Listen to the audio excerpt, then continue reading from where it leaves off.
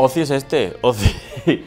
Ozzy, es el prota de la peli, un perro feliz que vive con una familia ideal, que le quiere, que le mima, pero de repente, pues por motivos laborales tiene que ausentarse y tienen que buscar un sitio bueno, un sitio eh, digno y de calidad y, que le den mucho amor donde quedarse. Pero de repente le hacen un poco, el, como decimos en Andalucía, le hacen el gato, nunca mejor dicho. Y de repente se cree que lo dejan en Blue Creek, que es como una residencia tipo spa de lujo, pero hay una persona muy malévola que al final lo lleva a una, a una cárcel tipo Alcatraz y a partir de ahí pues cuando se empiezan a presentar todos los personajes que, que viven y conviven y malviven en, en, esta cárcel.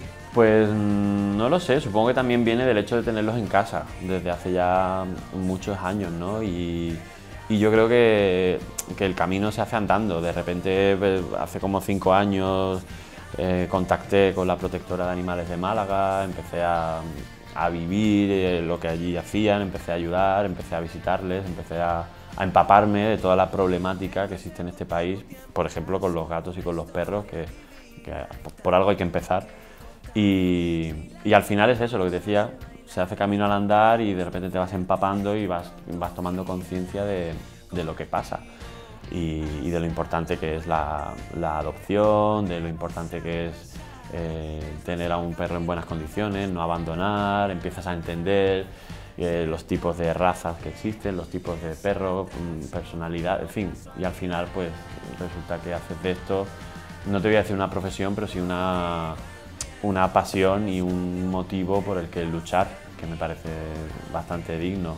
Yo sí, yo no, no, no pongo en tela de juicio lo que el resto del mundo, celebrities, famosos, artistas, eh, tienen que hacer con su fama cada uno que haga de su capa un sallo.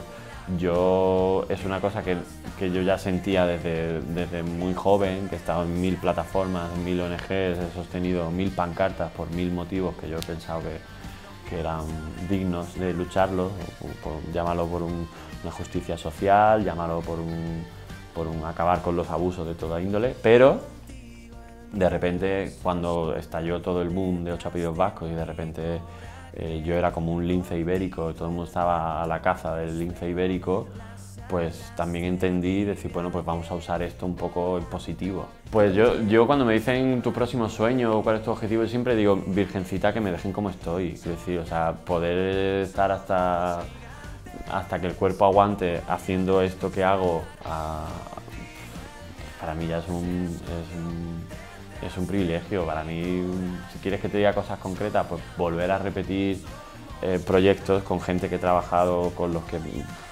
he disfrutado tanto, ¿no? Y, mucho de ello viene del germen, ¿no? Poder volver a trabajar con Emilio, con Carmen, que lo voy a hacer ahora en Vietnam, con Clara, el poder haber trabajado otra vez con Carra, el poder trabajar con mucha gente que no lo he hecho, que estoy loco por hacerlo, ¿no?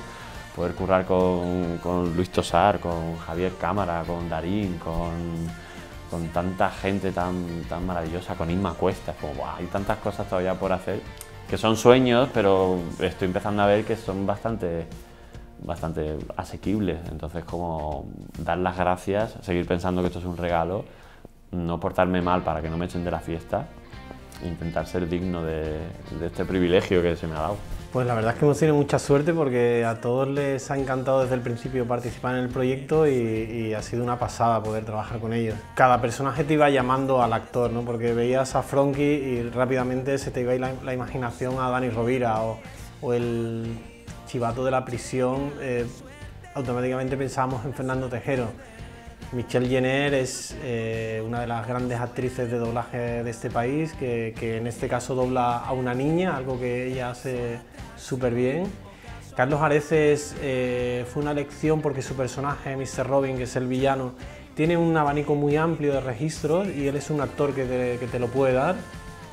Eh, Manolo Lama y Maldini son los comentaristas de las carreras que hay dentro de la prisión y no sé si me olvido de alguno, José Mota. José Mota eh, es el mafioso Vito, que ya sabéis que, ha hecho en multitud de ocasiones ese tipo de personajes en sus programas y le venía como anillo al dedo.